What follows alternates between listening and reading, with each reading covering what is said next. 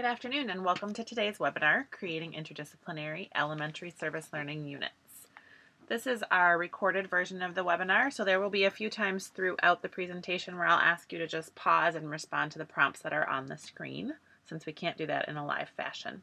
So just so you know who's on the call with you today, my name is Whitney McKinley and I'm the Professional Development Manager Diversity Lead here at NYLC. So for the webinar today, we have just a few goals. By the end of today's webinar, you should be able to identify standards-based desired results, create a unifying big idea and supporting essential questions, and understand how to plan your formative and summative assessments across the disciplines.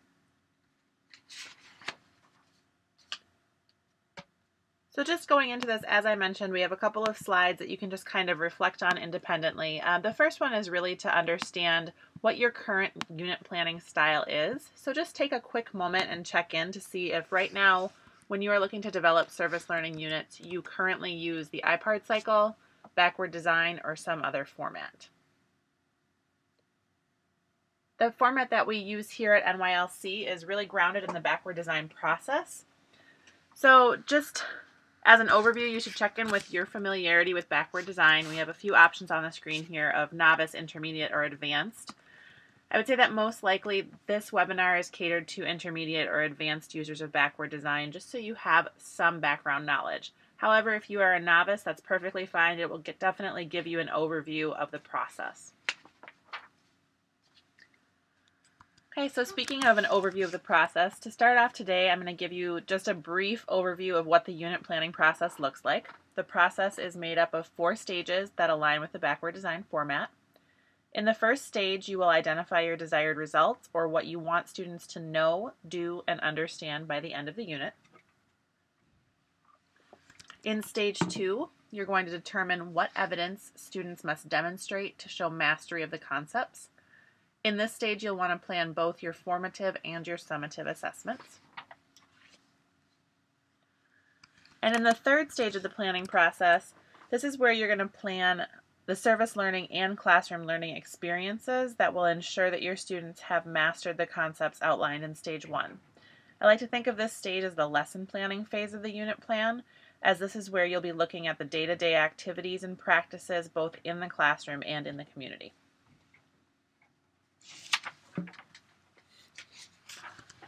And the last stage of the process is the self-assessment. In this stage, anyone who was involved in the planning of the unit, which is stages one and stages two, will review the unit as a whole and assess the efficacy of the unit against the K-12 service learning content standards, as well as the academic and or civic education standards that were addressed in the unit. And you're going to use this process really to identify any possible improvements or ways to engage in deepening the service learning experience either within or across the content areas. So in the interest of time for this webinar, we are really just going to focus more thoroughly on the first two stages of the investigation, which primarily focus on identifying desired results and determining your assessments. So if you're pulling up this webinar from the GSN or from nylc.org, the main resource that we will be using throughout the presentation today is the Academically Rigorous Service Learning Unit Plan, and you can find that unit plan either in the GSN group or on our website at NYLC if you just search for that resource. So the main resource that we will be using throughout the webinar is the Academically Rigorous Service Learning Unit Plan, and there is a link coming through to that document right now on your screen. So if you don't have access to that already, you can certainly click on the link and collect it as needed. Before we jump into the planning uh, um, of our unit, the first thing that we want to do is to choose our topic.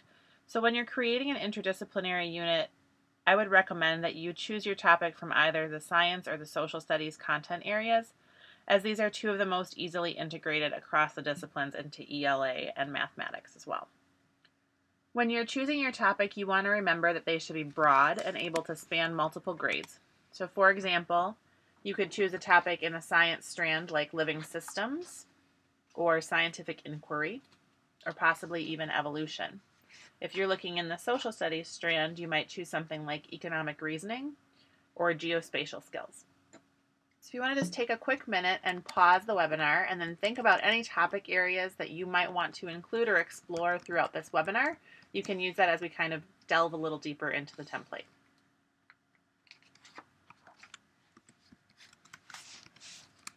So for the sample unit that we'll be following throughout the webinar today, the topic that I selected was economic reasoning. I chose this topic because it related directly to some current events that are going on in Minnesota, which is where NYLC is located. So while stage one of this process is often the most time consuming portion of the planning process, I also think that it's really one of the most fun for teachers. This is where teachers really get to display their craft and utilize their knowledge of student interests, their grade level standards, the community needs, and current events.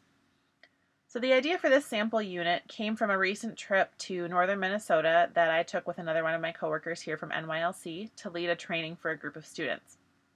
For those of you who aren't familiar with Minnesota, uh, we have here what's known as the Iron Range, which runs through the northern part of the state. And the Iron Range and the resulting mining in that area has really had a significant impact on shaping the economy, cities, and the environment in Minnesota.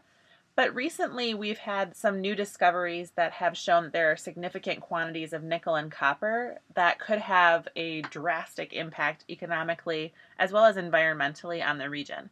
So, there's been a lot of buzz about what's going on and what will happen with this new mining and what it could possibly mean to the region, not only in terms of the economy, jobs, the environment, but really also this possibility that because of where the mines are located, it could generate a large sum of money for education, public education in specific in particular. So that may not initially sound like a great fourth grade topic, but thinking back to what fourth graders are really easily pulled into and what they can be interested in, I thought this topic would be really easy to create excitement around because it's exploring an issue for students who live in northern Minnesota that they most likely already have some background knowledge with it could involve the environment, animals, pollution, which tend to be hot topics or areas of interest with that fourth, fifth grade market. And it also could really be a way to bring them into the economic side of it. So, again, it's thinking about the audience and trying to pick a topic that's going to be easy to generate interest in and something that they will attach that meaningful service component to later in stage three. All right, so on our next slide here, in stage one of the unit plan, we're really focusing on framing the unit by identifying our desired results.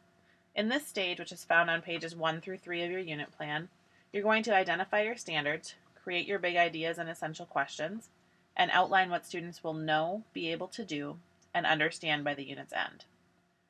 So as you can see in the diagram above, I know that my topic's main focus is social studies. But I also know that there will be English language arts standards that I can incorporate through the use of informational text and speaking and listening standards. And while initially I had planned on including math as a third discipline, I found that there was really a much more natural alignment to the Minnesota science standards, so I chose to focus there for this example.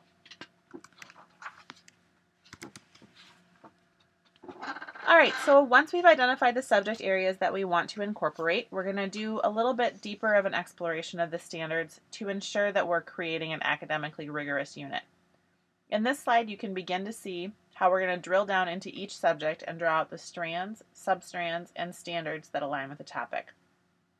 So for this particular unit, I've selected two strands from social studies, ELA, and science.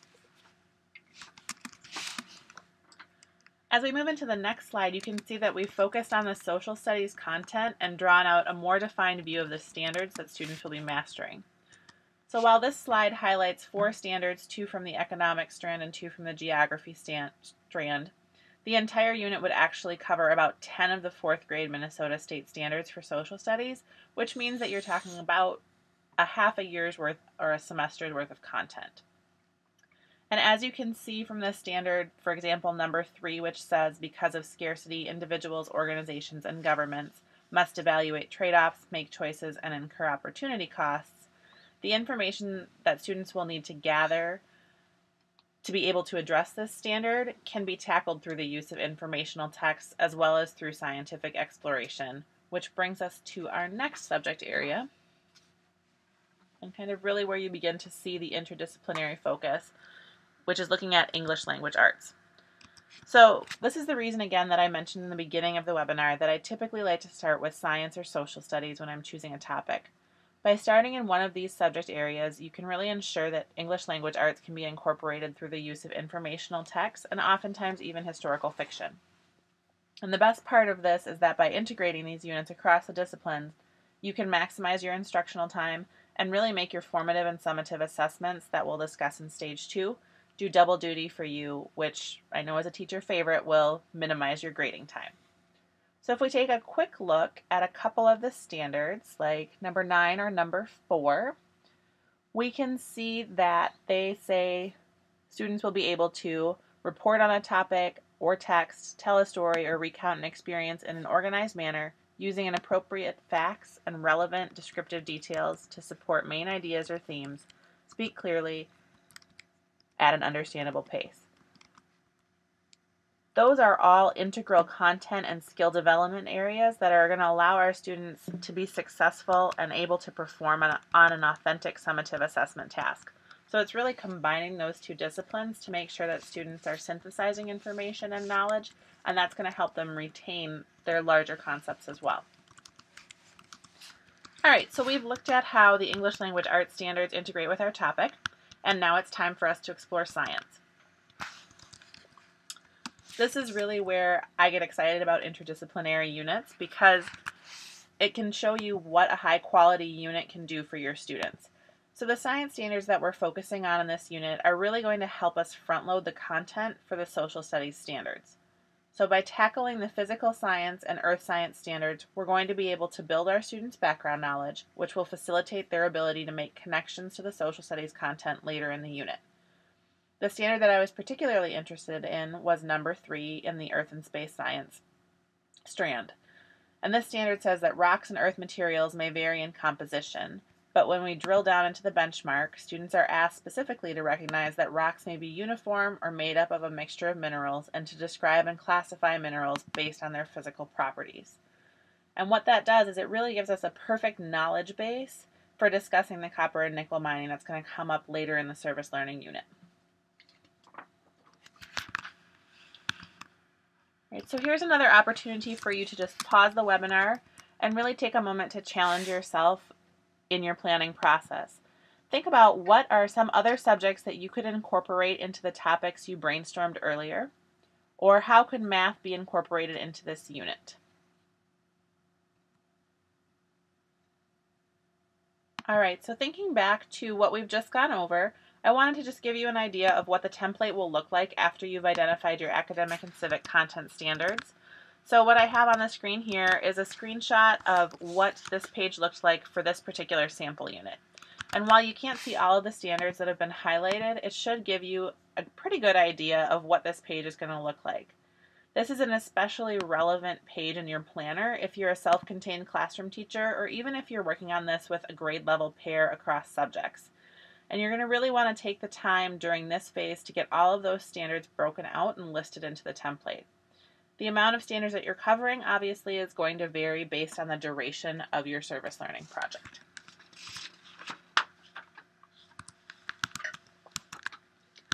The next step that we're going to approach in stage one involves incorporating all of our standards to create a big idea and the resulting enduring understandings. So in the template, the big ideas portion is broken out into academic and civic or character areas. As you can see here, we've selected one big idea for each in this example. Big ideas can often be tricky if you're just starting out in the backward design process, and quite frankly, even if you're an experienced practitioner. So to help you get started, there are a few things that you're going to want to remember. Big ideas are just that. They're big. But they have to go beyond that. They're not just large topics like number sense but they provide a way to organize information that helps the learner create a schema for how to connect and process that information. So we have two big ideas for this unit listed above. Our content-based big idea says that natural resources and economic factors influence geographic, cultural, and political change.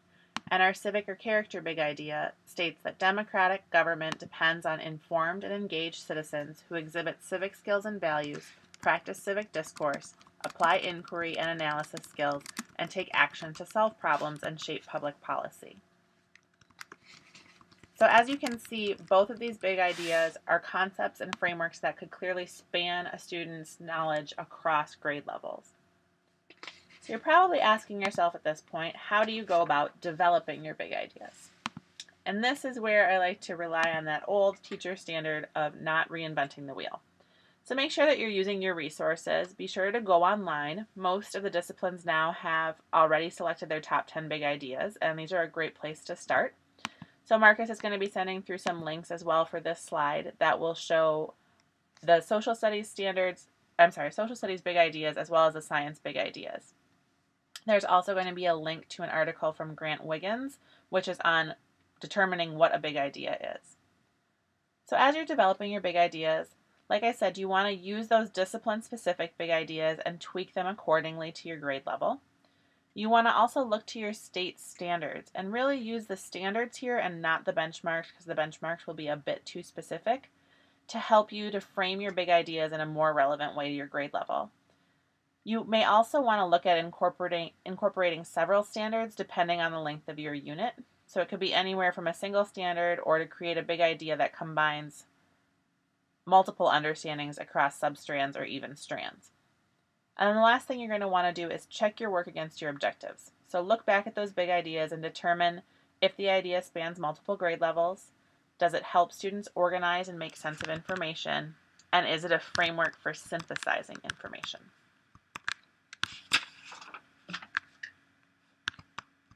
The next step in the planning process is to craft your essential questions. Remember, these questions will drive the inquiry throughout the unit, and they should be explicit and referenced often. It's often a good idea to refer back to the standards and the benchmarks you use to plan your unit to develop your essential questions. Some of the essential questions we've pulled for this unit are To what extent should the effect of the environment play on the role of economic development for a geographic region? Who should control the development of a geographic region? And is there a right or wrong way to be an engaged citizen?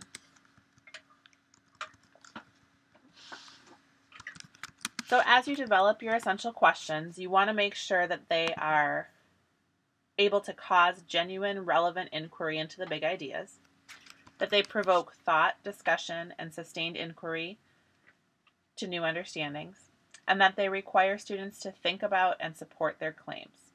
And again, you also want to ensure that those essential questions are open-ended and that they are allowed to naturally recur throughout the unit, thus provoking deeper understanding from the students. Okay, we're going to take a quick pause here again for you to test your big idea skills. So thinking back to some of those ideas you had earlier in the webinar, those brainstorm project topic areas, what are some big ideas or even essential questions that you could use for those topics? So if you just want to take a few minutes, pause the webinar here and quickly jot those down, that would be wonderful. All right, so we've gone through the first two steps in stage one and we're in the final step now, which is where you're going to determine the knowledge, skills, and understandings that are essential to students mastering the standards and big ideas. In this portion of the planning template, you're going to refer back to the benchmarks for each of the standards you identified on page one. The benchmarks will most often highlight the understandings that your students must obtain, and from those understandings, you need to then draw out the knowledge and skills that students must demonstrate in order to develop those understandings. So for example, if I'm asking students to demonstrate an understanding of how the natural resources of an area have influenced how humans interact with that area through examining maps and historical documents, then they need to have a basic knowledge of that vocabulary and have also developed the ability to read and interpret maps and graphs of different types. This is also where you would utilize any pre-assessment data that you have to determine what prerequisite skills students will need to bring into this unit. And as you determine these prerequisite skills, you may also need to differentiate your content and process to ensure that students with varying readiness levels are able to achieve your performance objectives. All right, we've finally reached stage two. And stage two of the planning template, we are going to focus on our formative and summative assessments for the unit. As we're planning this portion of the unit, you really want to keep in mind all of that legwork that you just completed in stage one, because that's going to drive the content that you will use to assess your students in stage two. As I mentioned before, stage one is really time and labor intensive, but in stage two, you're already going to see some of the benefits of all that hard work. In stage two, you're going to essentially take all of the knowledge, skills, and understandings that were outlined in stage one and create ways to measure student mastery. This is where your alignment needs to be really tight, but essentially you're just going to go through those objectives that you listed earlier, put them into a chronological order, and then decide how you're going to assess them. So literally what the format is. Is it paper and pencil quizzes, oral reports, exit slip, whatever it might be? And then after you've decided those formative assessments, you're also going to want to want to identify an authentic summative assessment task that can be differentiated for content and process so that when you move into stage 3 and your students are identifying their meaningful service opportunities, their area of interest can be fluidly integrated into your assessment. All right, so that was kind of a mouthful on differentiation and your summative assessments there. And you're probably asking yourself, what does this look like in reality? So you really want to keep in mind that with this backward design format, stage one and stage two are occurring before our students have been allowed to engage in investigation. So it's really important that our issue area is open and that we keep that summative assessment flexible so that we can make sure that our students are allowed to have meaningful service this doesn't mean, however, that we are going to change any of the objectives of the assessment. It's really just grounding that service experience in the learning that needs to happen within the classroom. So if we look at this slide, if my authentic assessment task is that students will present an informed economic stance on copper and nickel mining in northern Minnesota, the nature of that assessment task really allows the content or the topic of that stance to be open to the meaningful service areas that my students will discover in their investigation step in stage three. So as I've outlined here, when we're investigating, my students could select impact on the environment or impact on jobs as their meaningful service area, and either way it would still align with my summative assessment. Also, their choice in topic won't change the standards that they'll need to meet to complete their summative assessment, such as supporting their stance through interpretation and analysis of data, including maps, describing the interaction of business and governments and the exchange of goods, or from the English language arts standards, the ability to effectively engage in discussion while clearly expressing their own viewpoints and ideas.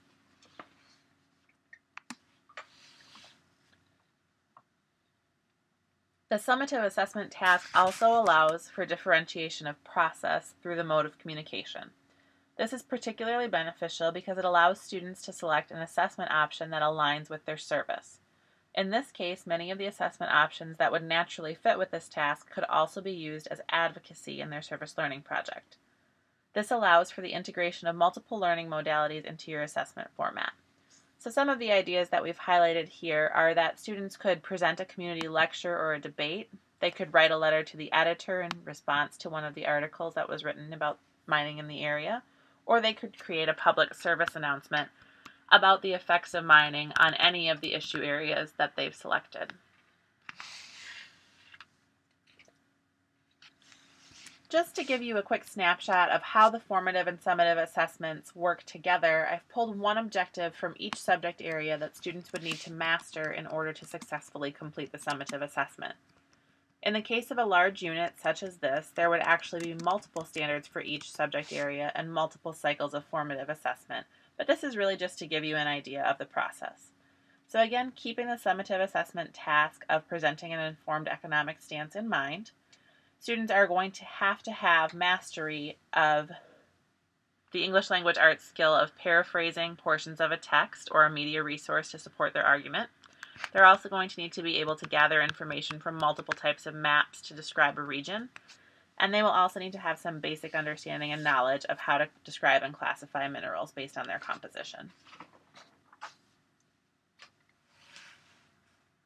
Again, I'm going to invite you to pause the webinar here and think back to the topics we discussed earlier. And based on those topics and the big ideas that you've created, what are some possible summative assessment tasks that you could use to measure student achievement? So even though we were focused on stages one and two during this webinar, I also wanted to give you an idea of what stage three of the template looks like.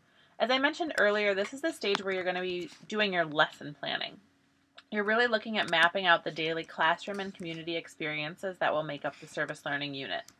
The basis of this section of the template is the IPARD cycle, which will be used to plan each segment of the unit.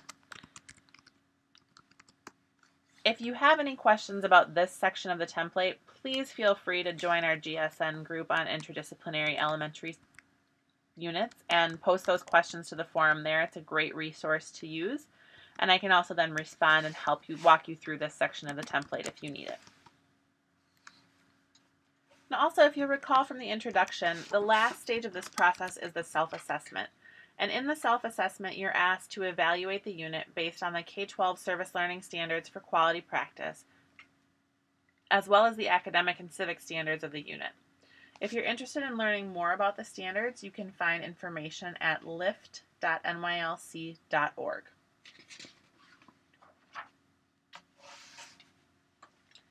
And also, as I mentioned in the last slide, you can join us on the GSN.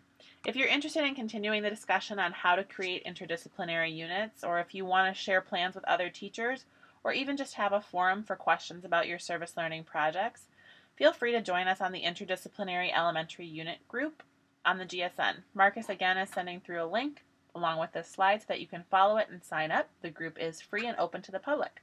So feel free to pass it on to others that work in your schools or systems as well.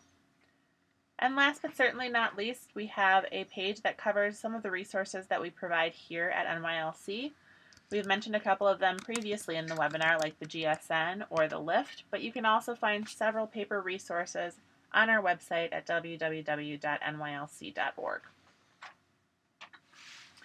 So thank you for attending our webinar today. Again, my name is Whitney McKinley, and if you have any questions about content that occurred in this webinar, feel free to either contact me through the GSN group or at wmckinley at nylc.org. Thanks and have a great day.